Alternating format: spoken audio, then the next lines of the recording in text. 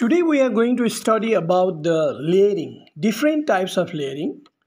Just for example, simple layering, compound layering, tip layering, mound or stool layering and air layering. We are going to study about this. It comes under artificial vegetative propagation in plant. What is layering? We have to understand first. Layering is an artificial method of vegetative propagation in which stem of plant is buried into the soil to produce root and new plant is developed.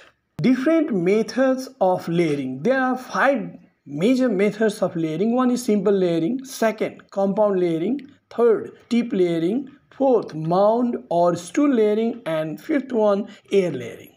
Now what is simple layering? Let's talk about the simple layering. This diagram represents the simple layering. In this method, the stem of the lower part of the parent plants which are older than one year is pulled from about 20 centimeter down from the tip towards the ground and is buried into the moist soil. After some time, usually 2 to 3 months, root develops from the buried stem. It is then left to grow for few months. At the end of the rainy season, the new plant is detached from the parent plant from the sharp end and transferred to the nursery band. This way, simple layering is done. Compound layering. What is it exactly? In this method of artificial vegetative propagation, many sections of the long stem of plant are buried into the ground, as shown in the figure. Then each of buried part develops root into the soil. Later, from each of the node, new plant develops. Okay, let's go to another one. This is tip layering.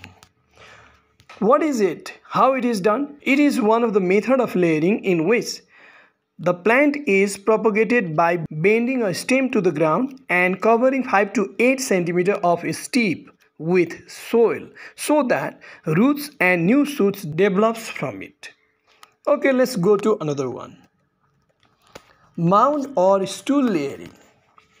It is a method of propagation in which woody stemmed plants are cut about 5 to 10 centimeter above the ground and buried to the ground in early spring and the new shoots that they develop are covered with soil to a depth of 20 to 25 centimeter to include root growth which forms individual plants that can be removed as new plant.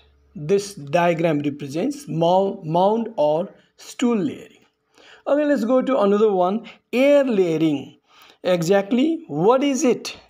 Let's talk about air layering. In this method about two years plant is selected after the removal of some of the leaves, 2 to 3 centimeter of its bark is removed around the stem. The fiber between the bark and woody stem is removed by scraping with the help of knife. It helps to stop the transport of food and hormone downwards. It helps for the growth of root from that place.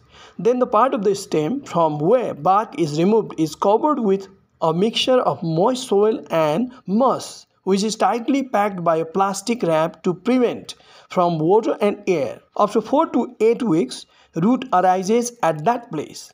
After 1 month of the growth of root, the new plant is cut out from the parent plant and transferred to nursery plant. Okay, five different types of layering. I told you very shortly. Okay, this much for today.